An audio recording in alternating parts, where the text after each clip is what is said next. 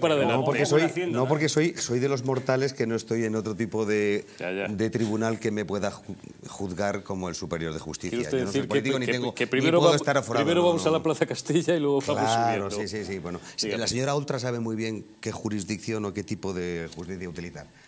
Eh, yo creo que deberíamos co- recomendar igual a, a los que son padres, que son tutores de personas no emancipadas, de, de- de menores no emancipados, Que quieran o que, como dice la ministra Montero, el poder ser libres para la hora de elegir el sexo que quiera en cualquier momento, que esta gente, digo, y de hecho hay una aluvión de gente y se ha exponencialmente eh, magnificado la asistencia a personal eh, de, la, de la sanidad pública, psiquiatra y psi- psicólogo, para mm, echarse para atrás de una cosa que no tenían clara.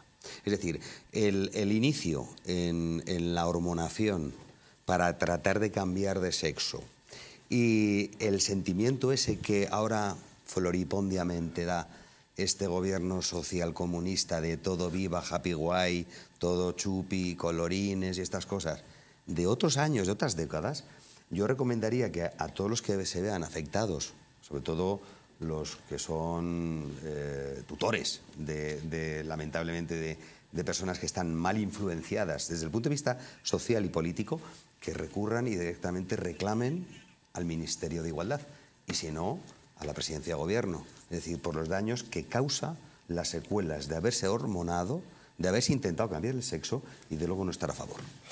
Tomás Poveda.